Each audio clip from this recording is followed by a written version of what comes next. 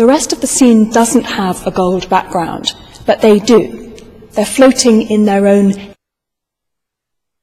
yourself like a gold miner, just looking for that one nugget, then put it back on the shelf. Spontaneously, in the hope that one day I would uh, land on a gold mine of truth, and uh, by accident, and finally know what my life was. In 1988, she won the gold in the heptathlon and set a record of seven. We need to be receiving as much gold as possible. There's always a moment where they try to tug at your heartstrings.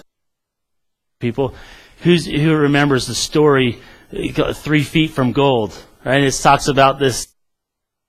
On him, he, he's accustomed to gold and to silver and to, to linen. Now he's a he's a rugged man. He, he's used to living. Both had huge houses made of gold, and many with pools filled with gold. We have a it was reminiscent of the gold rush when all the cowboys went out west and um, uh, gold medal and, and other brands, and so General Mills.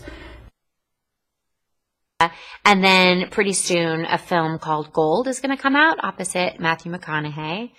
Um, Swirling inside are big new atoms gold, silver, zinc, and lead.